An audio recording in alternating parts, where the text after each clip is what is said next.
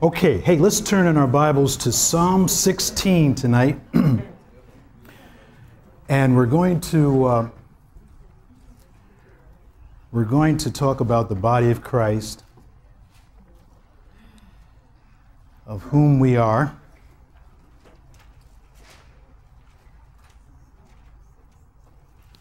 Psalm 16. And I want us to think about this idea of serving the Lord. And often one could say, I think we all would say, that, that we want to serve, serve the Lord. Pardon me. But how we go about that and the reading that you had in your, in your textbook talked about the church of Jesus Christ and, and uh, it was, you know, it was a very good reading. But I want to I want to look at the, the practical reality that God has for every single believer who's been baptized into the body of Jesus Christ. And pertaining to the second question about discerning, what does it mean to discern the body? Because obviously, if one does not properly discern the body, there are issues. And as those portions bring out. But what, what do you think it would mean, practically speaking, as a New Testament believer to, to serve God? Well, Psalm 16 brings out a very interesting point. And uh, we're going to begin there pertaining to it. And in verse 3, Psalm 16,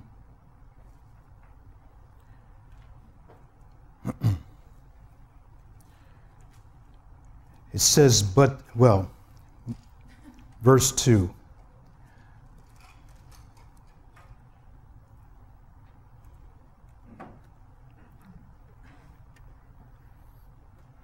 O my soul, thou hast said unto the Lord, You are my Lord. My goodness extends not to you, but to the saints that are in the earth, and the excellent, in whom is all my delight.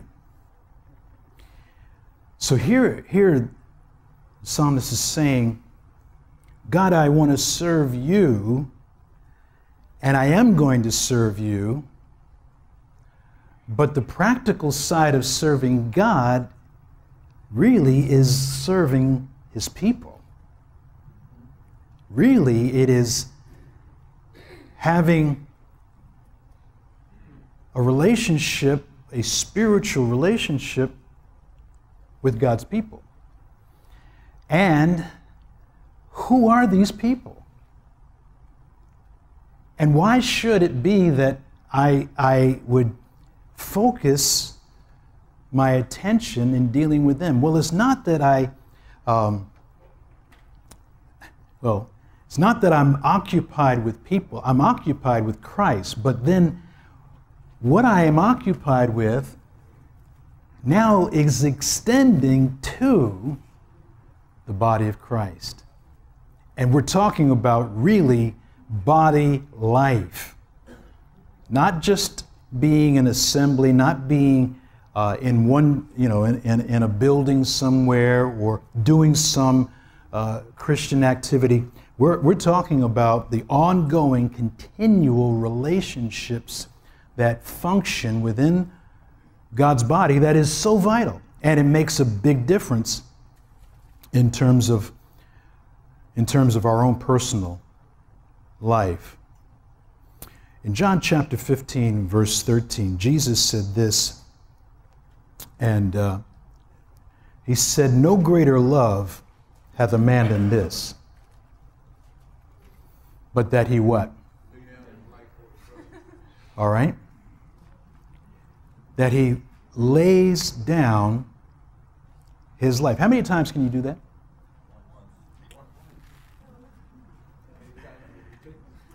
Who said that? Thank you. Raylan's right. As many times as it takes, because I got to understand that the laying down, well, let me put it this way once for all in my mental attitude, but at any point in time when it's necessary. Okay? In other words, I make I have a premeditated decision that I perceive, I discern the body of Christ as my friends. All right? Thus, I'm available. And basically, that's it. You know, I'm available for what? No, I'm available. Yes, I understand, but, uh, you know, available for what? I'm available. And I don't necessarily define it according to conditions or circumstances. And this is where true volunteerism, I'm making up that word, but truly where people are, are free to lay their life down. They're free to do so. Okay? Now, I remember, uh, this is some decades ago, but in any case, it was, uh, it was a, a group of 10 pastors in an area in New Jersey. And they, uh, they, got, they got together, we had lunch together and everything. And, then, and the discussion went to uh, this, this was the direction of the discussion. Where did the volunteers go? Now, this, is, this was a good 20 years ago, this conversation. These were pastors who had been in their pulpit no less than 10 years. They were in churches that had been in the community no less than 50 years. These were what we would call established family, denominational churches, second generation, whatever you want to call it. But in any case, the thing that they were now confronted with uh, in leadership was that there were no volunteers. And now that they, you know, we're taking this on, so now they found themselves having to have to go outside to hire a song leader, musicians, a choir director, okay, and uh, maintenance. And it was, a real, it was a real issue because it wasn't always like that. They remembered when it wasn't like that, when people were, you know, people would lay their life down and, uh, and it, you know, it's no problem. But now they're confronted with this this issue that they can't get people, and maybe they would say to participate or to volunteer to help, okay? And, and it was a great dilemma. Because if you can imagine what it would be like to have to go out and hire, okay, and, and some ministries have to do that. But it's crazy because, you know, how do you hire a song leader? That person, that person has to have the heartbeat of that pastor, or he is, they will butt heads. They, they will not complement each other. And just to fill in the, the, the idea that you know we can get a group of people singing the songs that we that we sing is not song leading. Pastor TJ is a gift. He is. and I've seen enough of the other stuff to just know that that is amazing blessing. Amazing blessing. And so it should be that we, we're going to see something here.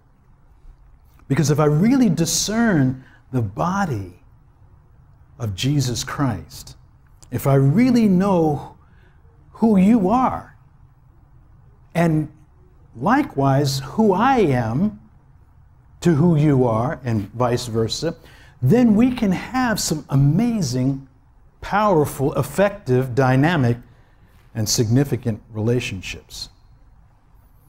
I was thinking of this. To, to know the Lord is to serve Him. I want you to think of this just for a minute. The more I get to know Jesus Christ, the more I, I have a desire to want to serve Him. But that doesn't mean that I want to accelerate my time to go to heaven. you know, like then I'll, I'll serve Him. No. It means that I begin to see the many varied ways for which I, with his body, of whom he is the head, by serving his body, I'm serving the head. That's the principle. By serving the body, I'm serving the head. And woe unto the man who says, I, I love God, but I can't stand these people. The Word of God has something very precise to say about, about that. But to know God is to want to serve Him. And then, and then I, I, I, find, I find the body of Christ operationally. Okay? So, yes, we understand that there's the universal body of Jesus Christ made up of every single believer in every single generation, making up the church age, and, and all of us will be there, redeemed in heaven. Uh, you know, Bema Seat Awards, all of that's going to take place. That's the universal body of Christ. Then we have the manifestation of that reality in a local assembly. A local assembly. And the whole premise of a table of organization where the gift of the pastor teacher and the evangelist, and from that comes now the fulfillment of two of Jesus Christ's, the, the parting requirements before going to heaven. Number one, love the Lord thy God with all thy heart, all thy soul, all thy mind, all thy strength, and love your neighbor as yourself.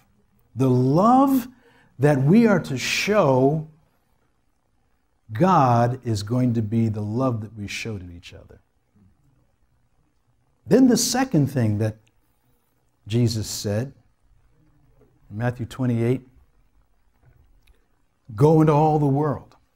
The Great Commission will be fulfilled not by an organization, but by a local assembly local assemblies. Okay? Um, we live in a very unique um, era. I was, I was uh, directed to a, a church, a church in Singapore. And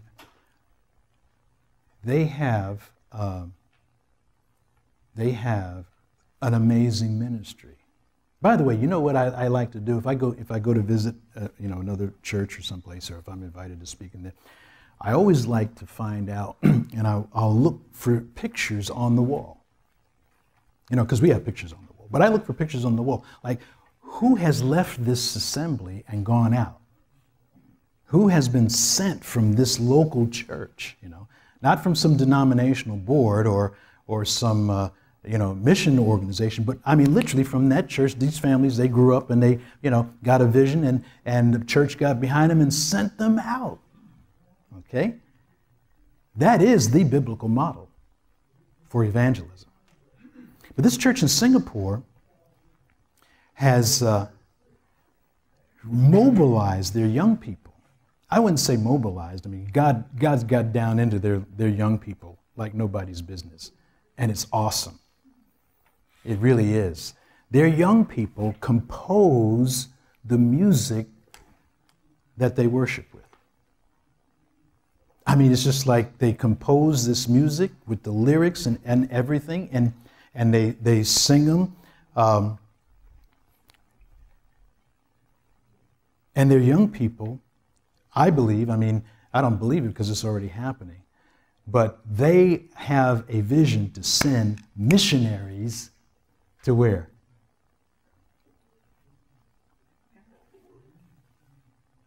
Here. Oh, yeah, and they speak English. Pretty interesting. I thought of that and I said, you know what? I said, here we are. Now, you know, as a client nation, I mean, and, and we could we could measure, we could see, you know, the, the 150 plus years and when missionaries were going from this country, being sent from America and going into all the world and making an impact. And then how that through attrition and pressure and issues and, and problems, you know, the, the numbers began to dwindle and, and, and that, that rushing river turned into a trickle. And so it is today. There are more Christians in America than perhaps in anywhere else, but there are less missionaries going from America. Okay? And so, God's going to raise up, you know, others and equip them. And He's going to send them. And so, it's very interesting, this kind of truth. So, here, here's something I want us to see. Uh,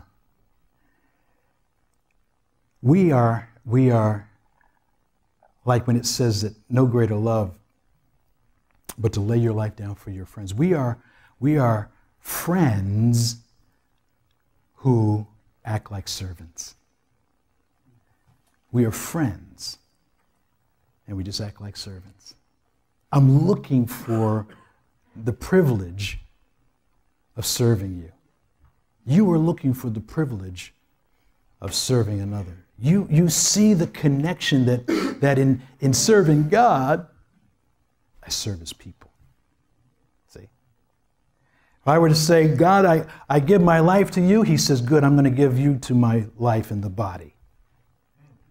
And that's what people have discovered here is that, that more and more the, the clarity of what God wants to do in my life is forged in the relationships that I have in the body.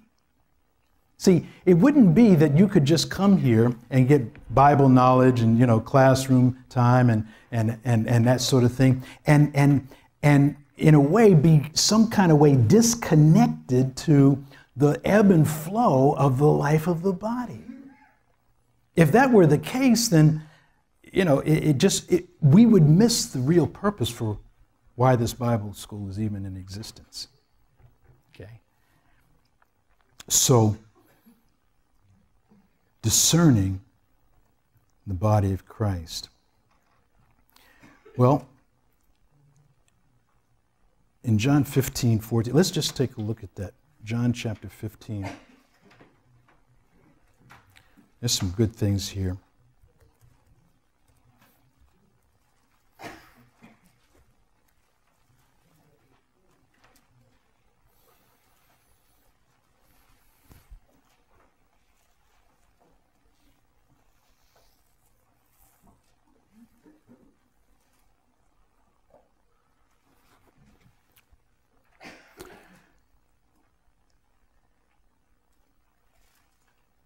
He says in 13 that uh, this love,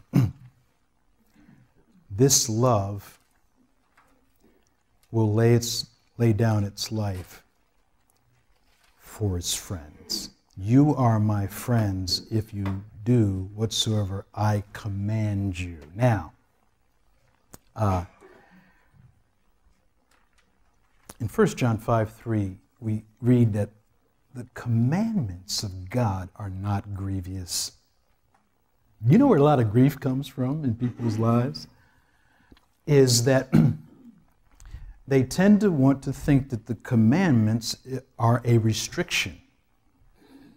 That there's some restriction that's now coming. God is, God is going to give me some commandments. But you know what he says? He says it right here in, in uh,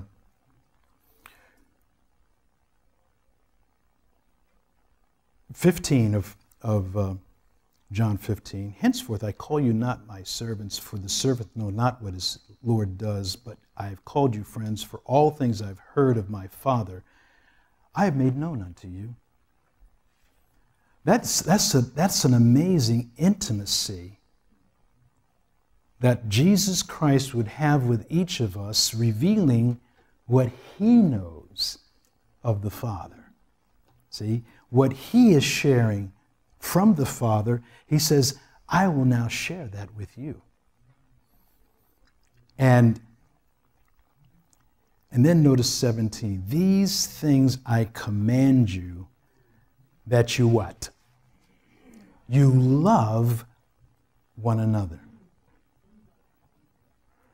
Now, is that a grievous commandment? Well, it could be. it could be if there weren't three things that I want us to see related to this thing called love. And this will help us to define in our thinking what it means to really love according to the Word of God. So he says it in verse 12 of John 15 This is my commandment that you love one another. Now, if I stopped right there, I'd do injustice to the verse as I have loved you. See, the premise is I need to first be loved before I even think I got any kind of love for you. and if I understand that the first love for me is unconditional, I'm always amazed about, and, and you know, there will be situations that God will engineer where you you, you have to receive from someone else. You are dependent on someone else. You can't do it on your own. And how, how you receive that will make a huge difference in, in your life. There are some people that just, they, they, they're, they're givers, but they're not receivers. They're givers. Oh, yes. Uh, you know, call me anytime. I, you know. And, and that that's, it seems so great. Turn those tables around and you find a resistor. You find what comes out of them is this, this pride, but that pride was there when they were giving too. See? And so now the circumstances are, are turned and they now must receive, they must be ministered to, they must welcome what is to be given to them. Because if it's coming from the body, it's coming from Jesus Christ. And it's amazing that, and, and, and this is where things can get grievous because pride gets in there. But as I have loved you, is the real definition for this kind of love that I have for the body is the love that I am receiving from Jesus Christ. And that's amazing because it is unconditional and it's transforming. And then I want you to think of this. In Romans chapter 12 and verse 10, This kind of love that we're to have for each other contains an amazing ingredient. It contains honor. He says, Be kindly affectioned one to another with brotherly love, in honor, preferring one another. In honor, preferring one another. What does it mean to honor someone? Well, the word there in the Greek time, it means to put a proper estimation of value on something. To honor something is to put a proper estimation of value. What is its true value? Okay? And the true value of you has nothing to do with me. Not how I, va- not how I put it on, but I, I say, you know, how should I look at the, at the, the most uncomely person in the body, whoever that might be? The, the, the weakest person in the local assembly, whoever that might be. Could be the pastor. The, the, the, the, the neediest person in any local assembly, whoever that might be, okay, what could I say is the, is the proper estimate of value? Well, that is, is that that person is whom Jesus Christ died for. There's the measurement.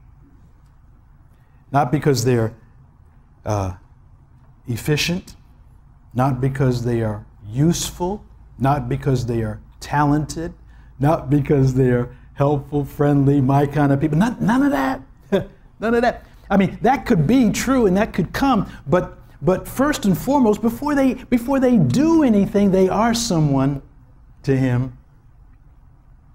And he is that measure of value. And who am I? Oh my gosh. Who am I to say that's not important? Well, that's not discerning the body of Christ. That's not discerning the true measure of value of the weakest one, the frailest one, the one that just failed and got back up. That's how I need to think about that. Honor. It's amazing. Second thing that can make these the commandment to love easier, less grievous, is found in Luke chapter 17 and verse 3.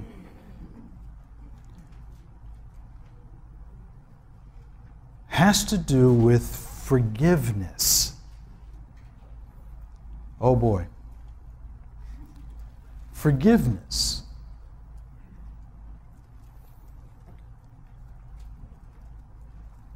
And what Jesus says, and you know, he always, you know, he had many, many opportunities. Now, he would go and teach in the temple every day. And on the Sabbath in the synagogue. And then outdoors in a boat. I mean, if we were to think about it, but the teaching ministry of Jesus Christ was relentless uh, it was like perpetual. It was like even, you know, they would say, he is beside himself. He is like, man, you're just too much, Lord. So he's teaching here, and he says, Take heed to yourselves. If your brother trespass against you, rebuke him, and if he repent, forgive him. Now, let me ask the question is that a conditional verse? Is that teaching conditional forgiveness?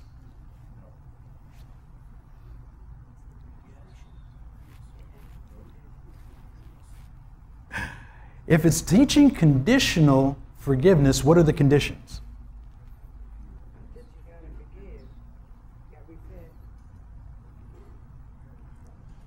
Okay. I think that to understand it, actually, the, the correct question is that it's, it's not conditional. It's not conditional because before one person repents, I am to forgive them mentally. But look at, look at this word rebuke. Rebuke. Now, a lot of people like this word because they like to think that that means I'm going to straighten them out.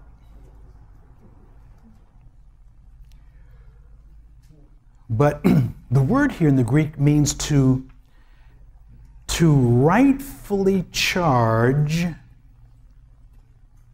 To rightfully charge. Okay, so, person has offended you.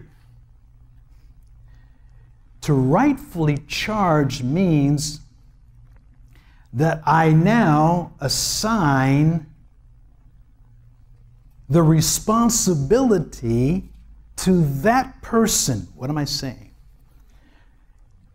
All too often, person A offends person B. Person B does not go to person A. Person B goes to person C, D, E, F, G, right down to Z, telling them what happened to, between them and A. They didn't assign the offense to the right person. Somebody gets upset at work or angry, they come home and you know with the wife or the children or in the that they become the target. See? But rightfully assigning them. Now this is something that is so important.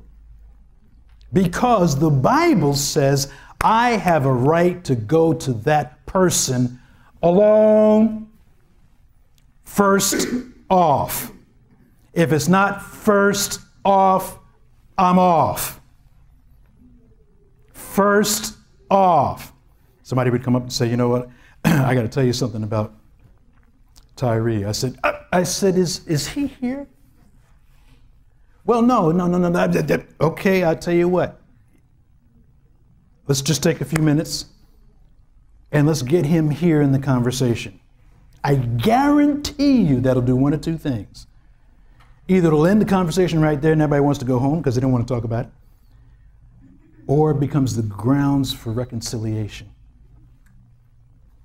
But if I were to sit there and just listen to what this guy has to say to me about Tyree, and I'm not even a first-hand witness to what happened there, I am now completely disqualified in helping them at, in the least bit. In fact, I am now guilty of violating the integrity of the body by hearing an accusation against another body member whom Christ died for. But I got set up in the situation, now being forced to become a judge. And if I could say, my gosh, this happens too often. Way too often. Why? Because we don't we don't assign it to the right person. That's what's in this verse here that Jesus is saying. You know, the, the rebuke is not like, uh, you know, getting in somebody's face and, you know, I, I don't like the way you're doing this. No, no, no. It's like, okay, you are, you are the target for now the next thing that needs to happen. And that is repentance. Repentance. But repentance will meet forgiveness, not probation. Um, if you've ever known anybody that's been on probation, when, do, when does that get assigned to them? Yes, and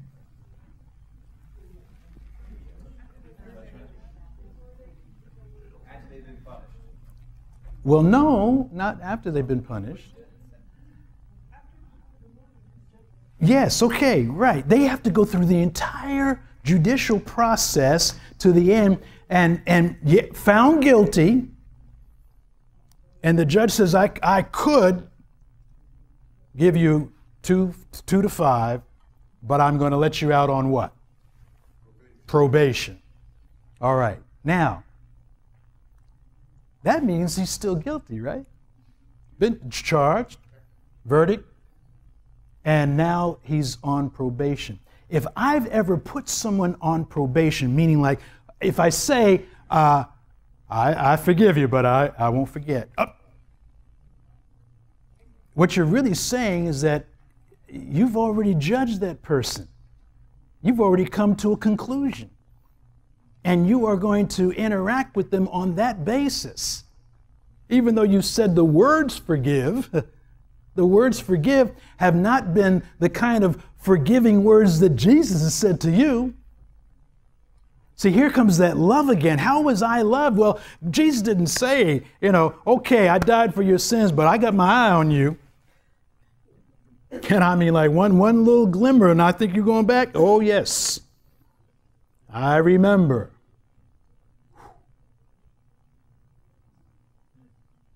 So forgiveness is like divine. It's divine. It's divine. It's not human. It's not human. Never let anybody get away with the idea that they could forgive and not forget, like as if that they are going to wait for some performance factor. Well, I think you really mean it now. I think you really got your life together now. Oh, really? Is that right? That's good. Huh. I didn't know I was still on the stage of guilt. But that's what it is. And people just kind of like accept that. You know what they say? They say, but I am a human being. Yes, you are. And God is not saying, try to forget, try to forget, try to forget, try to forget. Don't, you know, don't, don't think about it. No, He's just saying, just take my thoughts.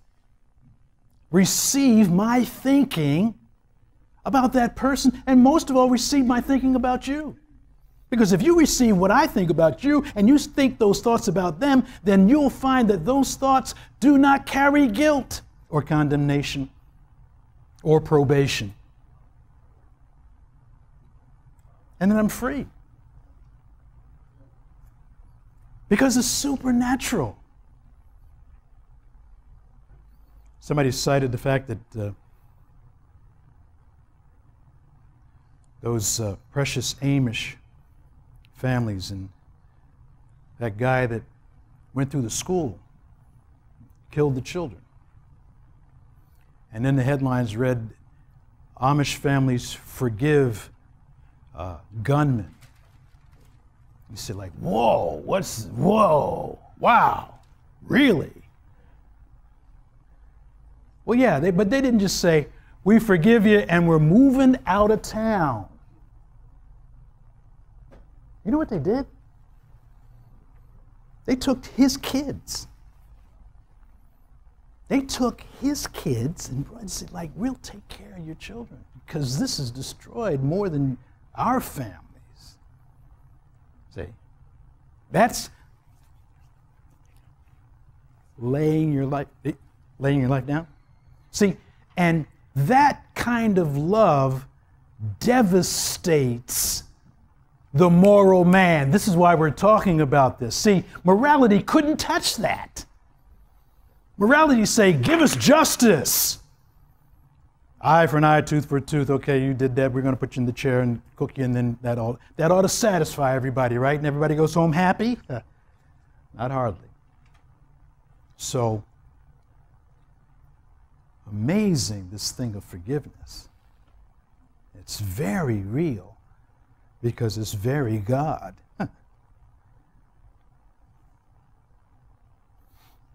Think of this. Peter came to him. Matthew 18 21. How oft shall I, my brother, sin against me and I forgive him? And Peter just kind of like throws this number out, but he doesn't really just throw this number out.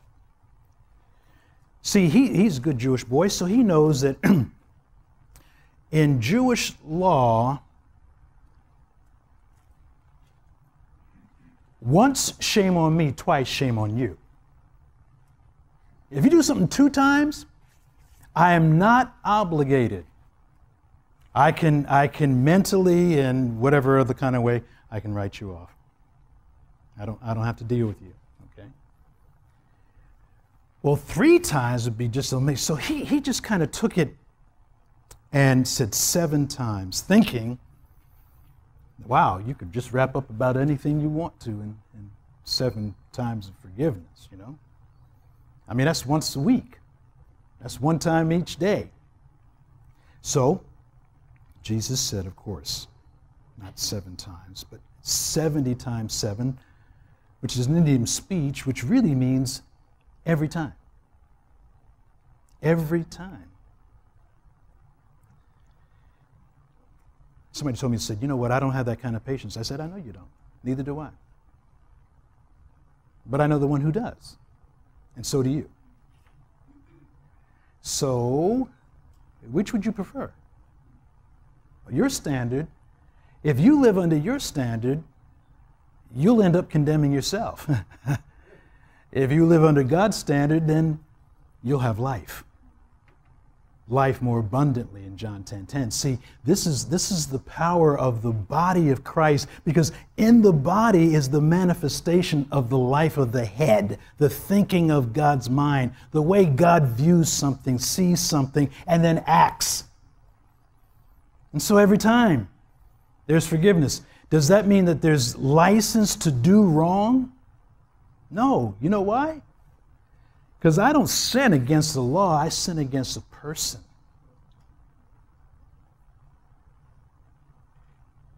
I mean, if, if, it, if it were that I could just keep, you know, I could just kick this, this podium as long as I want to, okay?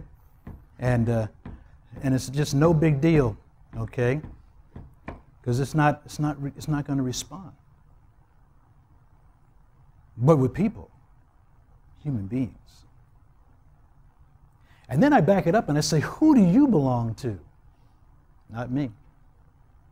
In fact, you don't even belong to yourself, but you belong to Jesus Christ. And now to touch you is to touch Christ. To deal with you is the way I deal with God. And I really need to get that straightened in my thinking. That's what it means to discern the body of Christ in an amazing way.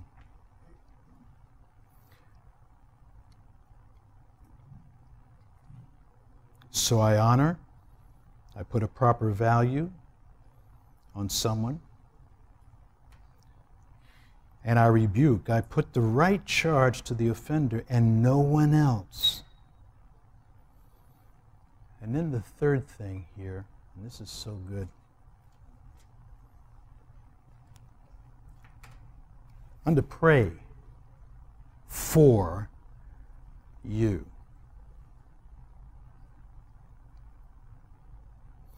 Paul puts it like this in Romans 15 30. He says, Now I beseech you, brethren, for the Lord Jesus Christ's sake and for the love of the Spirit, that you strive together with me in your prayers to God for me. What do you think this means to pray for someone? Now, I'm not going to make, I'm not making a play on words here or, but what, what is Paul saying here? Strive together in your prayers for me. And we don't get any indication of any kind of prayer lists that Paul would put into their hands. I, I you know, we, we need this, and, and uh, you know, I, I would like that, or, uh, I, you know, I, I have a sickness, and I want you to pray for my sickness. I mean, and, and there's not, not, not anything wrong with those things. praying for versus praying with. When I pray with someone, I'm praying about their issues, their difficulties, their problems, the things that they are facing. And we can agree together in prayer. That's praying with them. But praying for them is seeing them in their call and in their purpose in Christ Jesus. So, I will pray for them. I will pray for their spiritual advancement. I will pray that they will finish their course. And I want you to think of this because um, Charles Spurgeon was one of the great preachers, Prince of Preachers, he was called. And uh, they'd fill up the tabernacle, and you know what they would say? They would, they would ask the members to not come to service so that visitors could get in. Place sat close to 6,000. And a visitor came one time and said, uh, said, This is amazing. Like, you know, half his congregation's not here, and the place is packed. What is the secret to his preaching?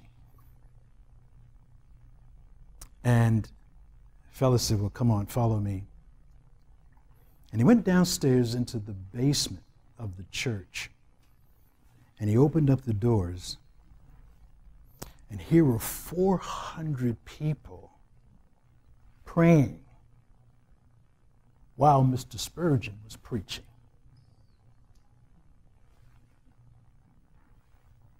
And he said, That's the secret right there. See? Praying that God would use that man and people would get saved and God would use him, not me. See, I want you to see, like, sometimes we would think I would, I would be more effective if I prayed for me. No, you'll be plenty effective. But get others to pray for you. That's what Paul is asking for here. It's amazing from his apostolic office, he's saying, you know what? I need you to pray for me. It, this is not going to happen because of me. It's going to happen because you're praying for me. And I just want to think, you know, think of it. It's very unlikely that I will have ill will in my mind if I'm praying for you like that. In fact, I think it's impossible. I could pray and and my expectation is that you'll prosper, that you'll come to maturity, that you'll advance, that uh, you'll just have an amazing impact. And the reason I think that this is so good is because it forces me to look beyond a person's faults, their weaknesses, their shortcomings, because I'm not going to expect that to hinder the work of God if I'm praying for them. See, yeah, they got some shortcomings, they got some weaknesses, they got some frailties. Yes, don't we all? But but you know, we have access to God who can overrule all that just overrule that if we ask. D.L. Moody, they used to make fun of him because he, he just, you know, didn't have good vocabulary, didn't, you know, speak very well. But who cared? People would come in, come in, sit down, and almost before they could get in their seat, they're weeping.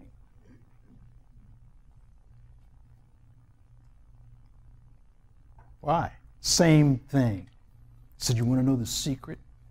Moody did the same thing Spurgeon did. See, these guys all they, you know, we, we read their sermons and we're amazed, you know, and they're done, you know, they're gone home and been with the Lord, you know, it's amazing what God did with them and everything like that. But you know what it really is? It's like they, the body of Christ, see, and they were praying for these men. And so whose success got, got rewarded in heaven?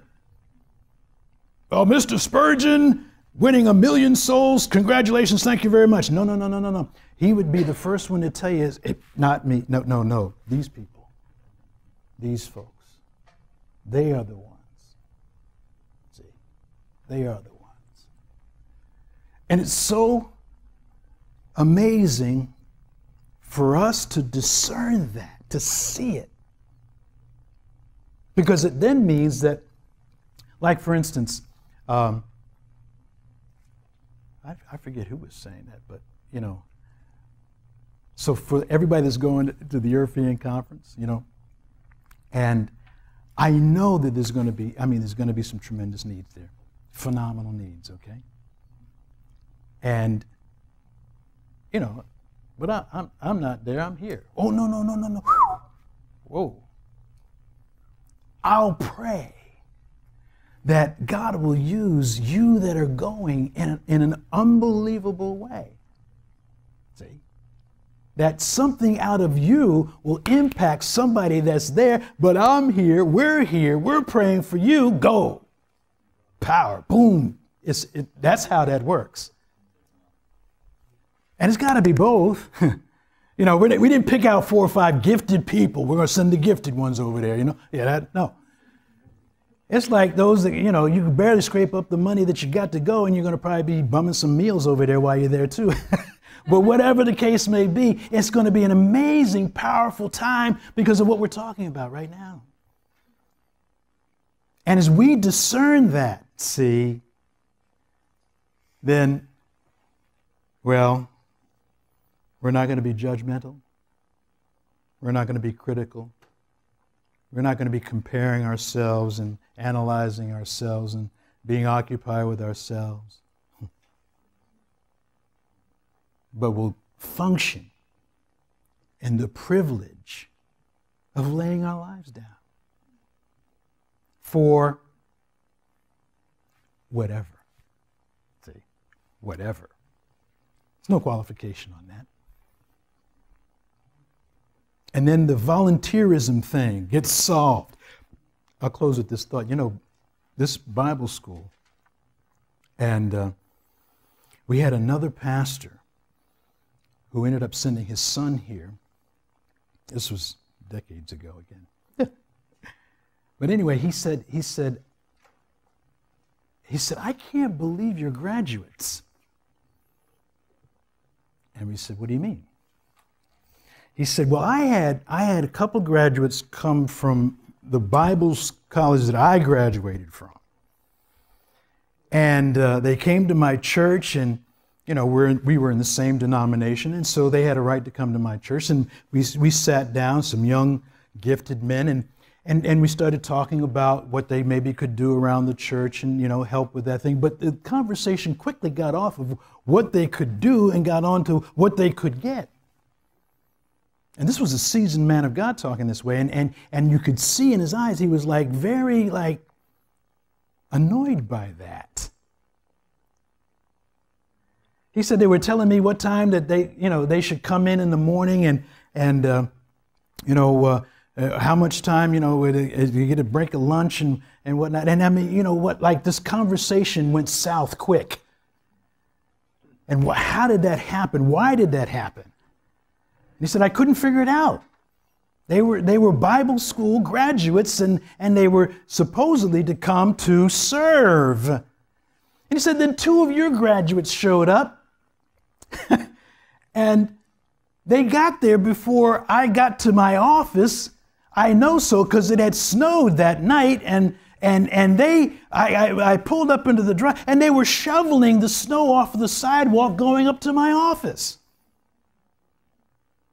and right then and there, I said, This is, this is different. This is different. And they sat down and, and they said, uh, Pastor so and so, what would you like for us to do? And he said, like, wow. It's a different story.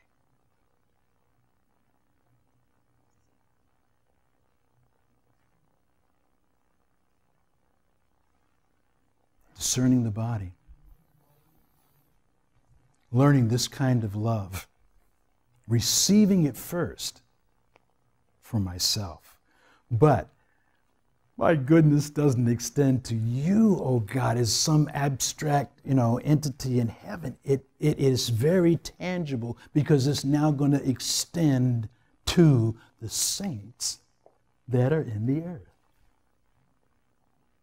the, the, the, the flesh and bone of the body of Jesus Christ, right here, right now.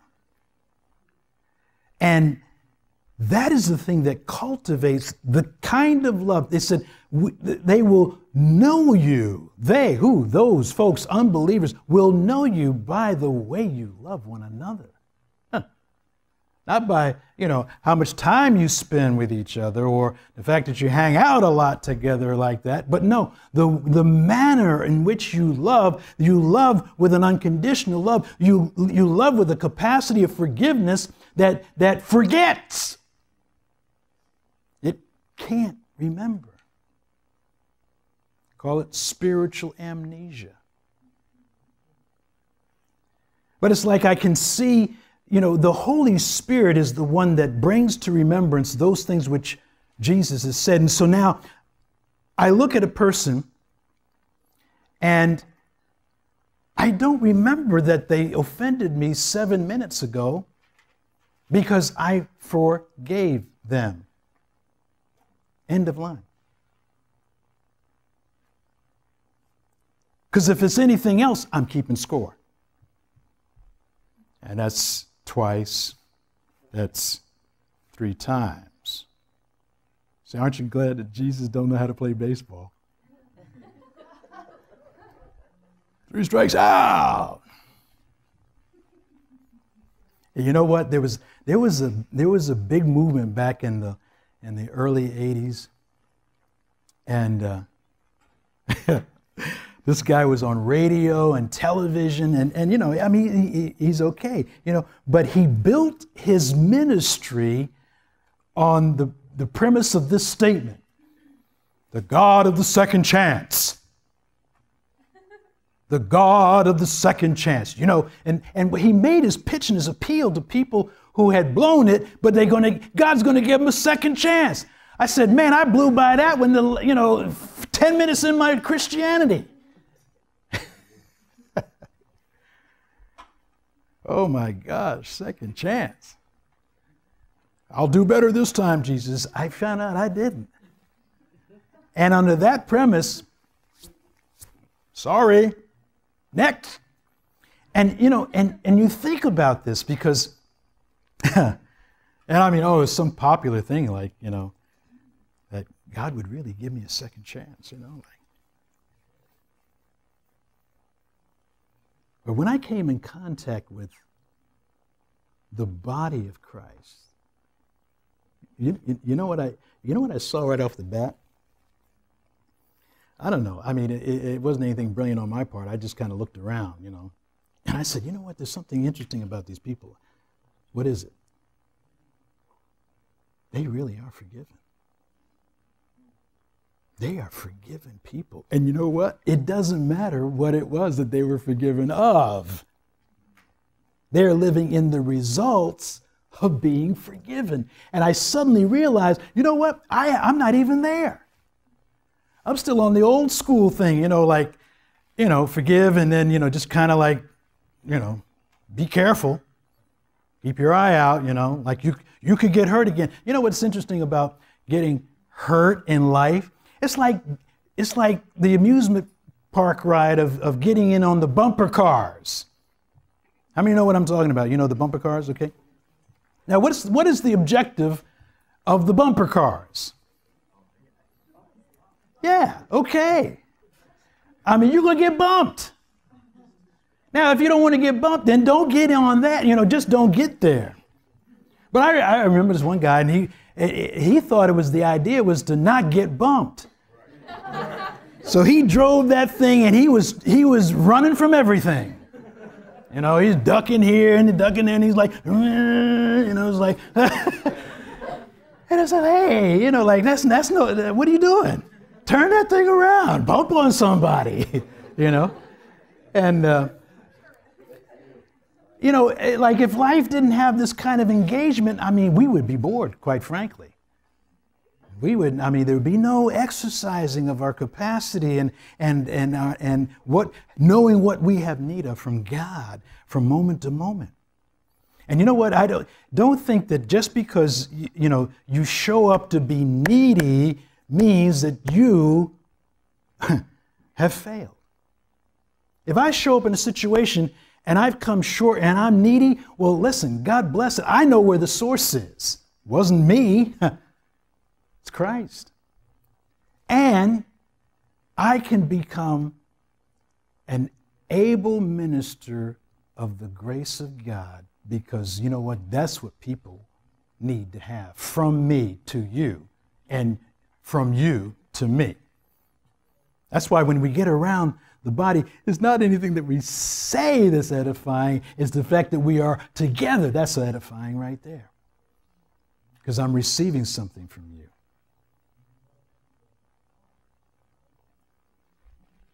So these are the things that make up body life. You know, the church. The church. And I would say this that in, in any denomination, any local assembly, any group of believers, you have, you have um, those who are saved and born again are going to heaven and, and everything is fine. But then you have those who discern the body within that group. And I just kind of think we just got a little bit, you know, we, we got a lot of y'all y'all kind of gravitated here and you know and you're here now and you you know you see it for what it is and you're walking in it and you're discovering it and you're growing in it and it's an amazing thing because you realize it's not based upon personality. And human you know human attributes it's supernatural. It's supernatural.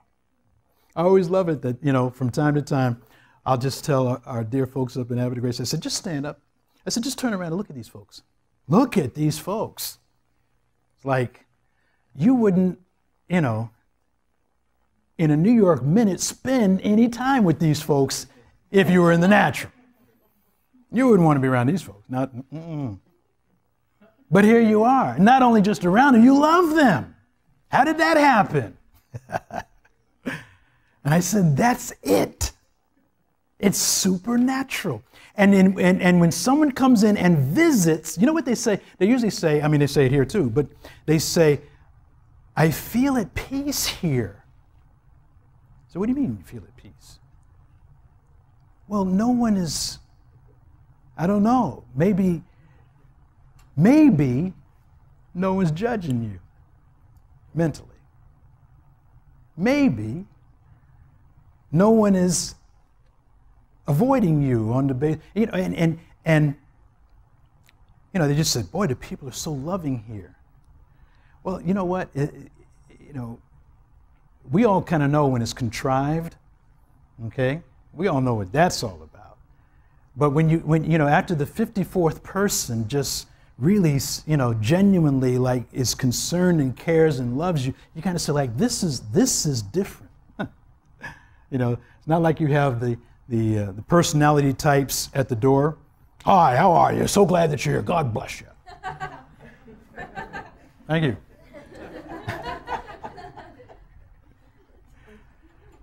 You know. But when it's when it's God and when and when we understand who we are. And you know the other thing is is that as we grow in grace and knowledge of who and what we are in Christ Jesus, we are learning how to be very relaxed people. We're just relaxed. And that means I don't have to prove anything. I don't, I don't, you know, I don't, I don't have to, you know, I don't have to be somebody to be somebody. You know, who are you? Oh, well, uh, let me tell you, glad you asked. I don't have to be anybody. And where, where else would you ever get that? You won't get that in the world. You won't get that even in, in, in, in some households, but, but you, you get this in the body of Christ. And so now that is the kind of environment that is necessary for us to grow and be healthy people. See? And then when we're healthy, we're free. And when we're free, we're available. So, God, you know, here am I. Here am I. You could send me. I'm not going to go, I'm not even going to go on my own. See? I don't wake up one day and just say, you know, I think, uh, I, think I, I got a call to Hawaii. I'm going. Got my plane ticket and everything like that. Well, no, no, no, no, no. I just could stay put until I am what? Sent. Sent. Why? Because that means that there are those who are praying for me. And whether it's back down in Puerto Rico, you know what I mean? It's like, it's going to be like, yeah, these people, the, the body of Christ is praying for me. And, and that just emboldens me. That makes me very radical in my thinking because I'm sent. I didn't come on my own authority, but I'm sent on the authority of another, and that's Jesus Christ. So I think of this because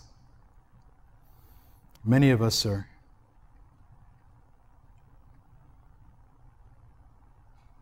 are very much, you know, experiencing this. And, and in a way, uh, the church in Corinth had many, many problems. But you, you, you notice that the problems that they had uh, was not with the Rome.